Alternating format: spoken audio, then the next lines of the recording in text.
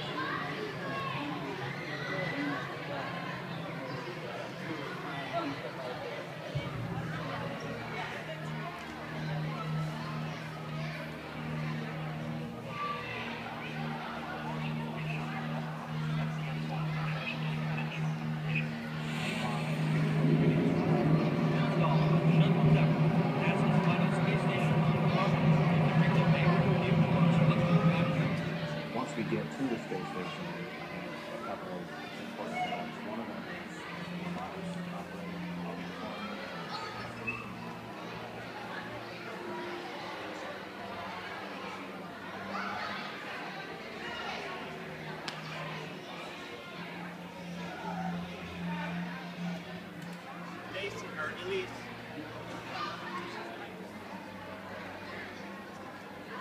Thank